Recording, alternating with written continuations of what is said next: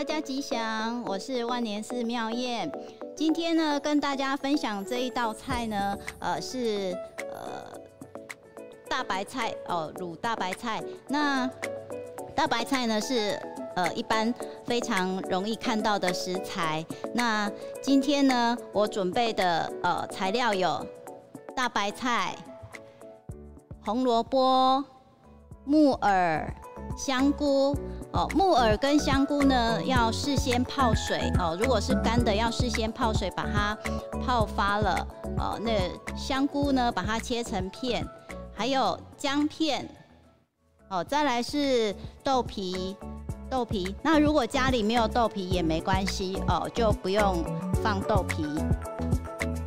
还有调味料有黑胡椒、盐、酱油膏、香油。哦，跟食用油哦。那今天这一道菜呀，它其实哦非常的丰富，有蔬菜，呃，还有红萝卜，还有豆皮，哦，它是营养价值哦非常高的。那我们首先呢，就先加一点食用油进来，把它烧热了。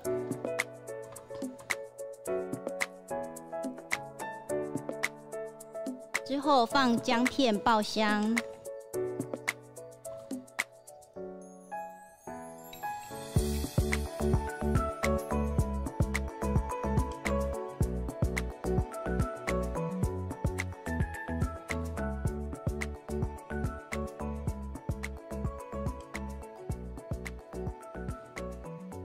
因为大白菜呢，呃，一般来说是。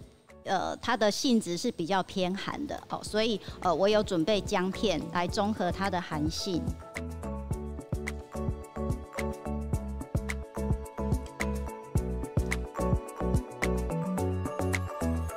姜片爆香之后呢，就可以放香菇。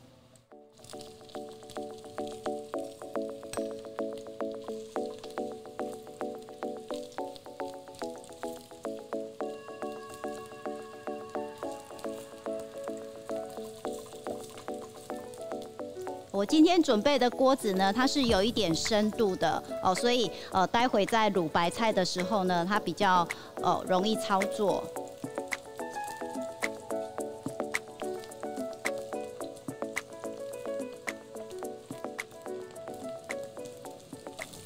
好，等到香菇的香气出来了之后，我们就可以把红萝卜也放进来。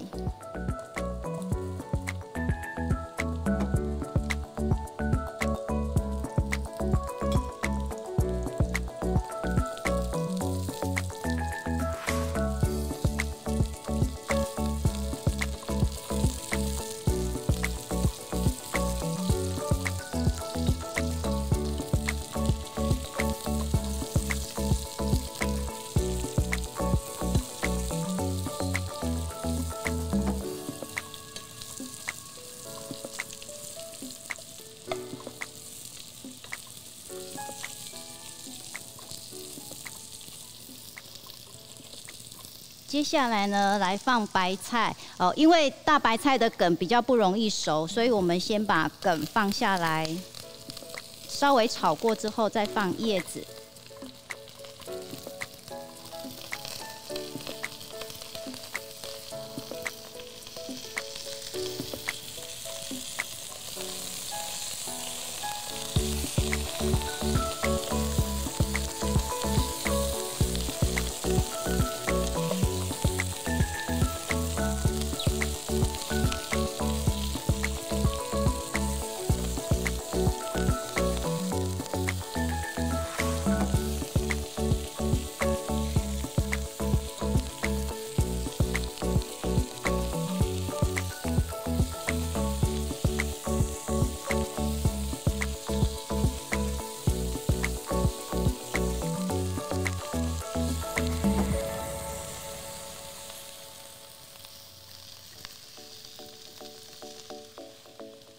接着就放叶子的部分，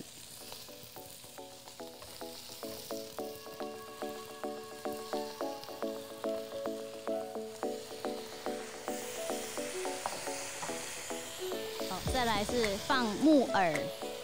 木耳不要下去炒，因为木耳遇到油它很容易爆开来，比较危险，所以木耳是跟着白菜的叶子一起进去就好了。然后呃，这里有刚刚泡香菇的香菇水一杯，把它淋上去，还有清水、冷水也一杯。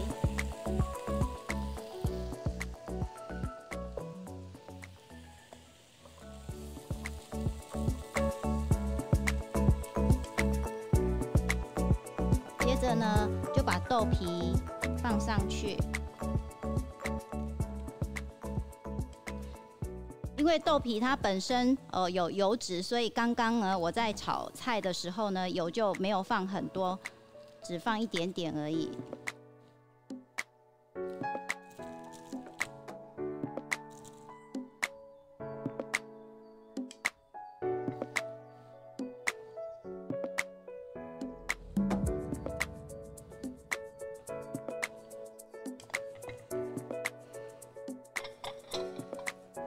这时候就可以盖上盖子，让它慢慢的焖煮。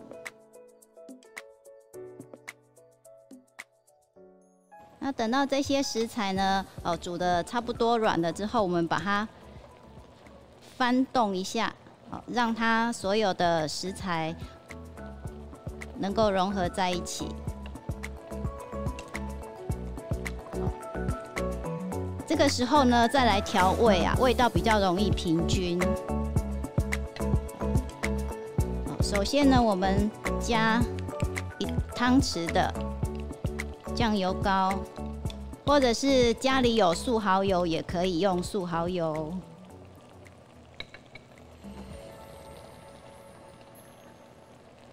少许的盐，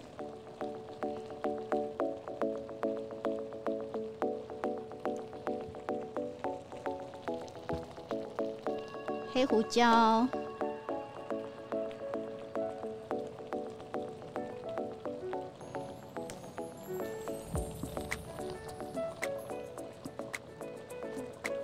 再把它拌匀，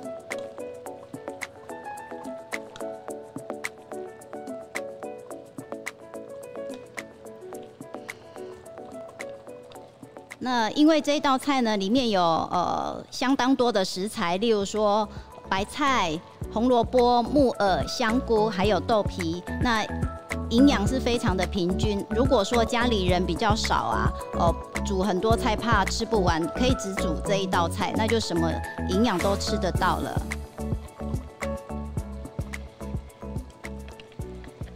把它煮软之后，要起锅之前呢，我们淋一些些的香油。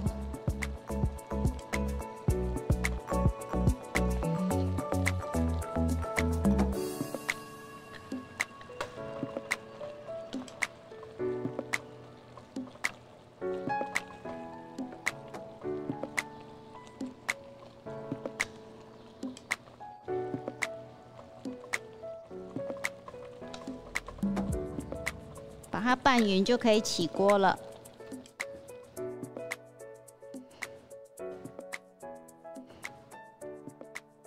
今天我准备的是砂锅哦，它的保温效果比较好。如果说家里没有砂锅也没关系，用呃一般的盘子就可以了。